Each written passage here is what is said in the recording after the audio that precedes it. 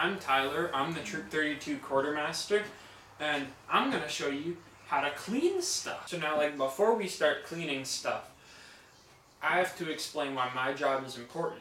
So, the job of a quartermaster is to buy new gear, keep our gear in shape, and make sure bad stuff doesn't happen to our gear. And if and when bad stuff happens to our gear, I can replace it or I can fix it. So you know that wreath fundraiser that we do every year? A bunch of that money that you raise each year, it doesn't just disappear and it doesn't get donated to places. It goes right back into your gear. All of this stuff out on this table, new stoves, new spatulas, all of that stuff was bought with your hard-earned money. So thank you. So the reason we have troop gear is because when you can't afford stuff, like per se, you don't want to buy a 10 pound Coleman stove that costs $70, you can rely on the troop to have six of them, which we do. Or if you don't want to buy a little MSR stove because you aren't ready to do backpacking full time, you can also rely on the troop to do that.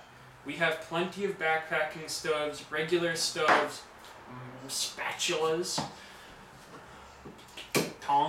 We've got all the stuff you need that you would normally have in your kitchen at home ready to help you guys. This is your Scout Patrol Box. You've probably seen one before, but if you just joined the troop during the COVID times, these have been up on the second floor of my shed, kind of hiding away, so you might not have seen them.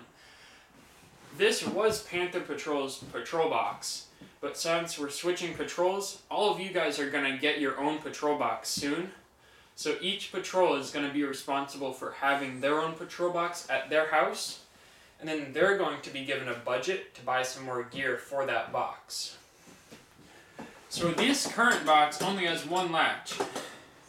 That's no good. The latch goes on like that, but see this side just flops right back up. This is what happens when your patrol box isn't maintained.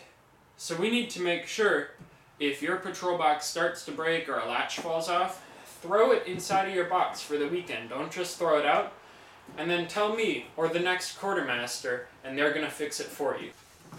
It's still Tyler. I'm just on a table now. So your patrol box has a handle. It goes here. And that lets you roll it around. Pretty neat, huh? We have wheels. If your wheels break, tell us. We will fix them. I'm back from inside of the patrol box. And I have retrieved the tray from inside of your patrol box.